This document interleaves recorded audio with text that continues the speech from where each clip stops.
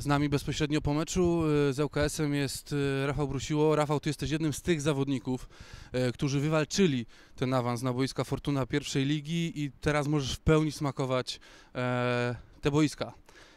Jakie to uczucie grać na takich stadionach Fortuna pierwszej lidze? Pierwsze dwie kolejki wiem jak się skończyły, ale nie o to pytam. Yy, Witam serdecznie. Yy, No wiadomo, no, yy, jakość infrastruktury już w pierwszej lidze w Polsce, no jak widać jest już na bardzo wysokim poziomie. Te stadiony już są naprawdę nowoczesne, piękne. Po pan, może nie po pandemii, ale już z większymi zluzowaniami, jeżeli chodzi o obostrzenia, z fajną ilością kibiców. Więc na pewno są to fajne mecze, fajne przeżycia. No ale po dwóch pierwszych kolejkach na dwóch ładnych stadionach, no niestety mamy E, Zero punktów. E, Na pewno graliśmy z zespołami, e, które pretendują do awansu do ekstraklasy. Wiedzieliśmy, że będą to bardzo ciężkie mecze. Pozostaje nam szukać pozytywów w postaci, uważam, niezłych meczów, no ale niestety, tak jak wspomniałem, zakończonych zerowym dorobkiem punktowym.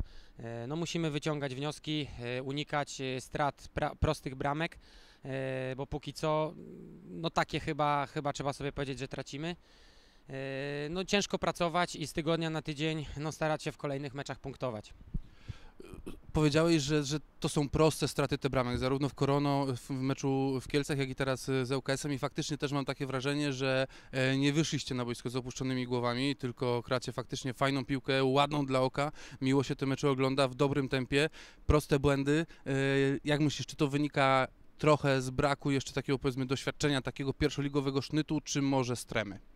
Yy, Być może tak jest, yy, że gdzieś ten początek sezonu yy, jest dla nas taki, może nie, że troszeczkę stremowany, no ale no wiadomo, no coś, coś historycznego wydarzyło się w naszym klubie, awans na zaplecze Ekstraklasy, więc każdy tydzień, każda kolejka moim zdaniem będzie, będzie niosła nas jako drużynę. Yy, I, i, I ja mogę zapewnić yy, za siebie i za drużynę, że nasze mecze będą każde tak wyglądać, jeżeli chodzi o zaangażowanie, o wolincjonalność, y, o to, że nie położymy się przed przeciwnikami. Póki co po tych dwóch pierwszych kolejkach uważam, że to pokazaliśmy. Wiadomo, za, za opinie fajne, pozytywne po meczach nikt punktów nie dostarcza. e, Ale jestem optymistycznie nastawiony, trzeba wyciągać pozytywy, szukać korekcji w błędach, które popełniamy. I tak jak powiedziałem wcześniej, z tygodnia na tydzień ciężko pracować i, i, i zaczniemy punktować. Rafał, bardzo serdecznie Ci dziękuję i życzę bezpiecznej drogi do domu. Dziękuję ślicznie.